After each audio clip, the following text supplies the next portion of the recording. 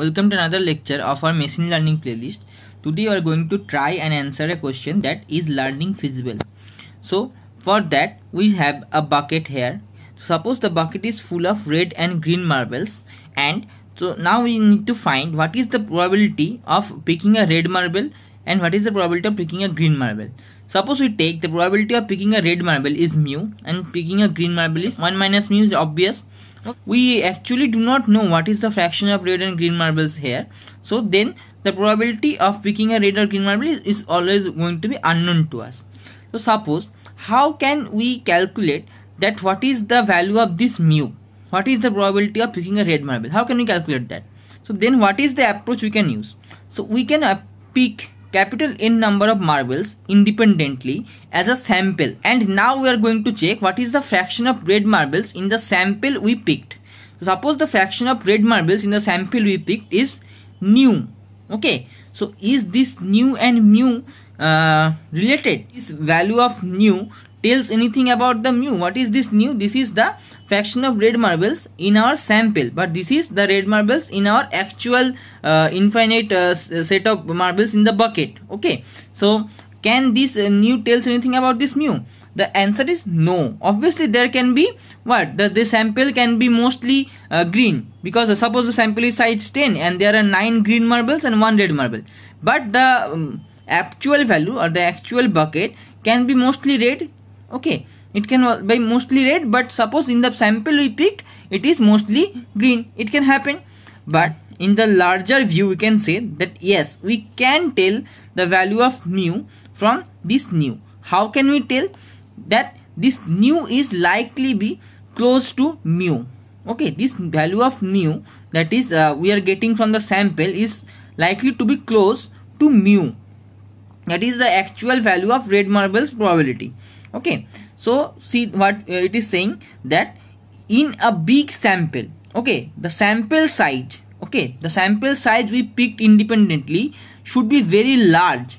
In a big sample that is for a large capital N the nu is probably close to mu. Mu is probably close to mu. It is not saying that nu is going to be exactly equals to mu but the value of nu is going to be close to mu close means what? It will be within epsilon. Within epsilon means the difference between nu and mu will be less than or equal to epsilon. Okay. So what is this this is the tolerance of our system. That how much error we can tolerate. Now see. We can write this in a probabilistic way. Okay. So uh, suppose we are writing this p of something is less than equals to something. That means this probability of this thing happening should be less than something. So we uh, this thing is what? This thing is go going to be something bad. Okay this is something very bad event. So the probability of having a bad event is small. Less than equals to means what? This means this is small. This is going to be uh, less than some value. That means the probability of occurring this bad event should be small. Derive an equation or the derive an probability but it is starting from here. So learn carefully. The probability of occurring a bad event is small. That means the probability of the bad event is less than equals to something. We are going to derive these things here and also the things here. But for now just remember this. Okay. The probability of happening a bad event is less than equals to something. So for the case what we are saying now what can be the bad event? So we were saying for a large sample that nu is going to be close to mu within the range should be within epsilon. So the bad event should be what? The bad event that mu is not close to mu. Okay, that means the absolute value of nu minus mu is greater than epsilon.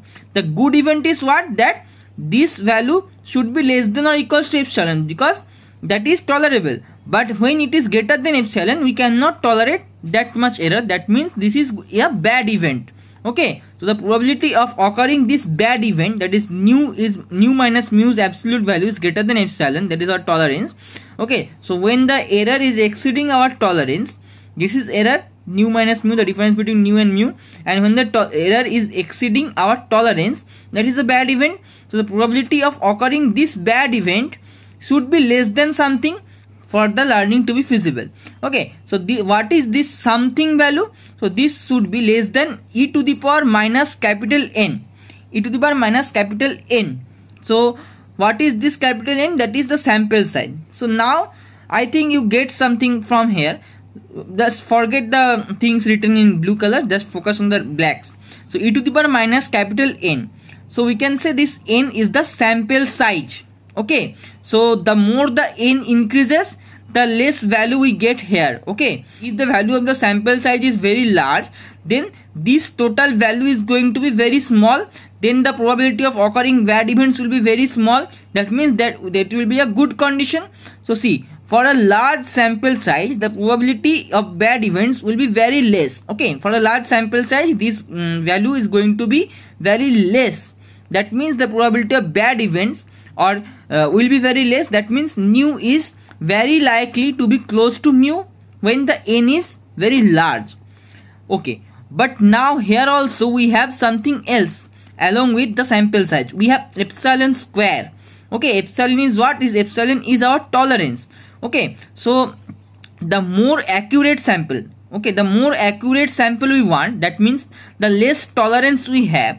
Okay. We have less tolerance means what? Less tolerance means we want the sample to be exactly accurate okay? So that means our tolerance is very less. This is going to have a very large impact and this is this value this n's large n's value is going to be cancelled to a very small value and the probability of occurring bad events will be very large. Suppose the tolerance value the value of our tolerance the value of the tolerance of our system. Suppose it is 10 to the power suppose have a large value 10 to the power minus 6 sorry very small value 10 to the power minus 6 that is our tolerance we want our system to be appropriate and accurate to a very high degree. That means we tolerate we tolerate very less errors. So our tolerance degree is 10 to the minus 6 then this epsilon is going to get squared here. That means it is going to be 10 to the power minus 12 so no matter how much big a sample size we are going to take here this 10 to the power minus 12 is going to be multiplied with the sample size so this is going to be cancelled out and this is going to be become a very small number okay? And this if this value becomes a very small number then this e to the power minus a very small number is going to be a very large value okay? This whole thing is going to be a very large value. This is uh, because we are having a negative sign here. So if this value is small then this whole value is going to be large. Then that is the probability of our occurring bad events the probability of occurring bad events is going to be very large that we do not want. Okay. So if see here what is written here? The more accurate system we want that is the less tolerant system we make our sample to be the probability of bad events. Okay our sample to be the probability of bad events increases okay? So the, our probability of occurring bad events will be increasing if we have less tolerance. If we have a very less tolerance that means what? That means even the slightest uh, difference in nu and mu is going to be calculated as an error. So that means the uh, probability of these errors happening or the bad events happening is going to be very high if this epsilon is less okay? And uh, what we have in the end we have a 2 here and a 2 here okay that is our whole formula that is probability of the absolute value of nu minus mu greater than epsilon is less than or equals to 2 e to the power minus 2 epsilon square capital N. I think I have already explained what all this value is. This nu is the probability of occurring or the fraction of red marbles in the sample size this mu is the probability of picking a red marble or the fraction of red marble in the actual data set or the actual bin. This epsilon is the tolerance of our uh, learning algorithm. This uh, E, you, I think you already know this E and this epsilon is the tolerance I have already said you. This capital N is the sample size. So this whole equation or inequality is known as Hoeffding's inequality. And among all the values here this nu is the only random thing. Because every time we pick a sample the value of nu is going to be different for that sample. Okay and see there are the some notes from Hoeffding's inequality. That is the inequality is valid for all values of capital N and epsilon. That means it is valid for all sample size and tolerance we provide. Whatever sample size or tolerance we pick or we choose to use it is valid for all of them. The more accuracy that is the smaller tolerance okay the value of the epsilon is small. So the smaller the tolerance we want the larger the sample size we need okay? Because if we want a very very small tolerance that means this epsilon is very small then this epsilon square will be uh, more small. Then we need a very large value of capital N to cancel this small value of epsilon okay? Because in the end we want this value to be small. So for that this value should be large. So that means if this epsilon square is very small then we need to uh, cancel it with a very large value of capital N okay? So the uh, smaller tolerance need larger sample size okay?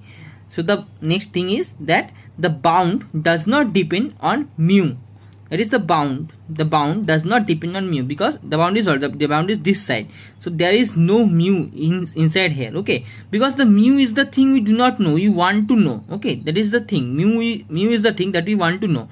And if we use mu on the this side also then uh, it will be pointless. Okay. And the last thing is that nu uh, is approximately equals to mu. Okay. That does not mean that mu should be approximately equals to nu. But we use what? We use this thing. Okay. We use this thing. Because what we got? We got we got uh, nu and we are going to trying to calculate mu from this new value. Okay. Because we have only our sample and we are trying to calculate mu from our samples value that is nu. Okay. How can we use this thing in our learning algorithm? That is a probabilistic thing like in a bean marvels all this we understand. But how can we use these beans and marvels inequality equation in our actual learning algorithm? So for the bean we have unknown quantity. That was mu. But for our learning we have what? We have our unknown function. Marble x belongs to capital x. That means uh, suppose we can say for a credit applicant this x is a uh, credit applicant okay this S is our input samples. It means for a credit approval system, we can say that X is a credit card applicant and this belongs to the capital X that is the whole input set. Suppose the green marbles is if my hypothesis gets it right and the red marbles are that my hypothesis gets it wrong. My hypothesis predicts the customers correctly. That means if the, if it says it's good, then the customer is good. If it says it's bad, then the customer is bad. Then it is green. But if it predicts the customer wrongly, then it is red. Okay. So make simple as that. So see what we have we have the same thing what we have learned in our first two videos. That is unknown target function training examples or training sample. From here this we are feeding this training sample to a learning algorithm. We are also having a hypothesis set we are using this also in our learning algorithm. And in the end we have our final hypothesis. It is going to be g and this is going to be as uh, close possible as our target function. Okay so all of this is okay. But see in the real world what is the uh, these training examples? X1 x2 x3 so this x1 x2 x3 this all are these all random? Or in the real world there is a probability of the probability distribution working among them. Okay. Suppose if the probability of a person uh, being a good or bad is completely random or is there a, a probability distribution existing in the real world? Okay so obviously there is a probability distribution existing in the real world. The probability of being a customer good or bad is already present in the real world. We just don't know that but it is there. There is a probability distribution present. So this probability distribution p on the dataset x is going to be added in our learning diagram. Okay we are going to add this here also. Why we are adding this probability distribution? Because they these uh, training examples are not random. Okay. So what is this training example? This is the sample size in what we were picking from the infinite data set the infinite data set is the real world.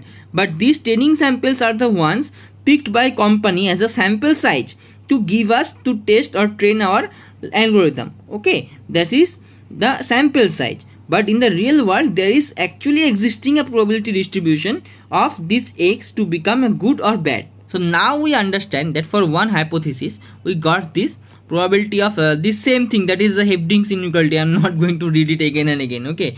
So i think you already understand this okay? So but this is doing what? This is just showing that our chosen hypothesis is a good hypothesis or bad hypothesis. But does we need only that we do not need to tell it that it is good or not. We need it to choose which hypothesis is the best. Okay? But it does not gives the best hypothesis. It just says that the hypothesis we chose is good or not. So this is only applicable for a single hypothesis. And now i am going to modify this a bit. So now see what is this uh, nu and mu? So this nu is the uh, is the in sample this is the in sample error and this mu is the out of sample error. Okay because uh, this was what? This was the probability of red marbles and the red marbles were what? The red marbles were my hypothesis was predicting wrong. So that was our red marble. So the probability of red marbles means probability of errors. So the probability of errors in sample. This nu was what? This nu was the probability of red marbles in the sample we picked okay that means that the training data um, provided to us so that is the in sample error we can also say so we write it like E in of H. This H is the particular hypothesis which we testing. Okay, so that is the in sample error for the particular hypothesis H. And this mu is what? This mu is out of sample. That is the actual data. Okay, that is not the sample. That is the uh, examples of outer world. Okay, so we can say E out of H. Okay, the are the out of sample errors of particular hypothesis H. So this E in or E out depends on the hypothesis we choose. Okay, for different hypothesis we choose, our uh, errors uh, in the sample or in the um, outside of the sample are going to be different. Okay, so this uh, E in H or E out H is going uh, is different for different hypothesis. So uh, this value is for particularly one hypothesis of uh, of finding out that the hypothesis is good or not.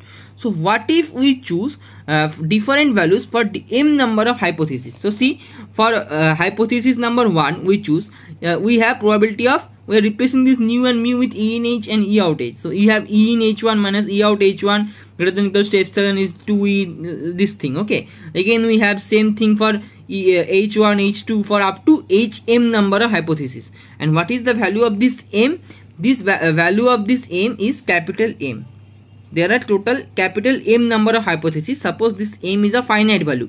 Though we know that the number of hypotheses or the hypothesis set is infinite, but for our help, for our understanding, for this particular lesson, we are going to consider our hypothesis set to be a finite number and this value is capital M. All these different hypotheses we have that our uh, probability of these bad conditions or probability of this bad condition happening is less than 2 e to the power minus 2 epsilon square capital N. Okay, so for H1, for H2, for H3 up to Hm. Okay, so there are capital M number of values from m equals to 1 to capital M. So what will be the worst case? The worst case scenario is that each of these is going to be less than the total value of this M hypotheses. Okay, so for a single error, for a single hypothesis, the error is this. So for M number of hypotheses, the value should be always less than equals to M into this okay see the worst case for, we are taking the worst case. Okay for h1 suppose it is less than uh, 10 suppose for h2 it is also less than 10 okay so suppose there are five such hypotheses we are taking. So for five hypotheses we can say if they all are less than 10 so they are together less than 50 okay we can say this all together are less than 50 so each of them are less than 50 obviously if, if they are less than 10 then they must be less than 50 also so we can say we write it like 5 into 10 we are just multiplying the number of hypotheses along with the error or the uh, bad conditions probability. Okay. So the probability or the worst case possibility that is probability of e in g minus e out g greater than epsilon. So the probability of bad event in a particular hypothesis that is our final hypothesis g is always going to be less than the summation of the probabilities of occurring bad conditions in every uh, one of the hypotheses. Okay. It is obviously going to be less than the summation of probability of occurring bad events in all the possible uh, hypotheses. It is obviously going to be less. So what is the probability of occurring bad conditions in every possible uh, hypothesis? It is 2 e to the power minus 2 epsilon square capital N. So we are just replacing this whole thing with 1 because that is the thing we got from Hoeffding's inequality. Okay because it is obviously going to be less than this. Okay absolute value of e in g minus e out g being greater than epsilon is always going to be less than equals to summation of m equals to 1 to capital m 2 e to the power minus 2 epsilon square capital n. So this thing i think you already know because uh, if this is less than this and this is less than this then this is going to be less than this also.